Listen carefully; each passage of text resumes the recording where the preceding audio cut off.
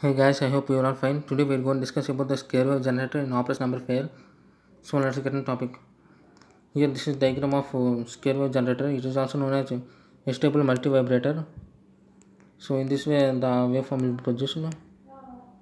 Here initially the capacitor is not charged. Let me tell you. Initially capacitor is not charged.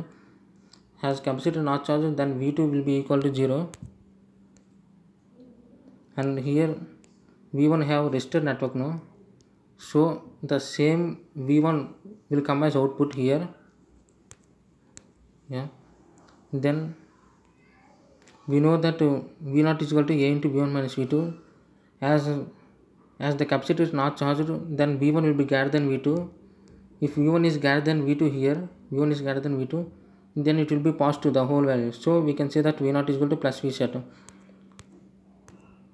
So the waveform will be like this in the in the plus v sat then the after this after this the capacitor will be charged. Then v2 will become greater than v1 then then if v, v2 is greater than v1 this whole value will be negative which means v0 will be negative which means v0 will be minus v sat then as this waveform here like this it will go to negative saturation is negative. Here like this as i told you here as shown here.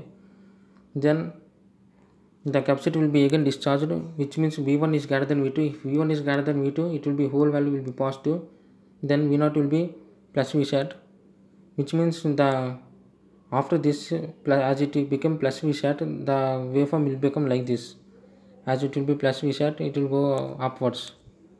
So in this way the square waveform will produced. I hope you understand guys thank you please support me by giving a like comment share and don't forget subscribe my channel and press the notification bell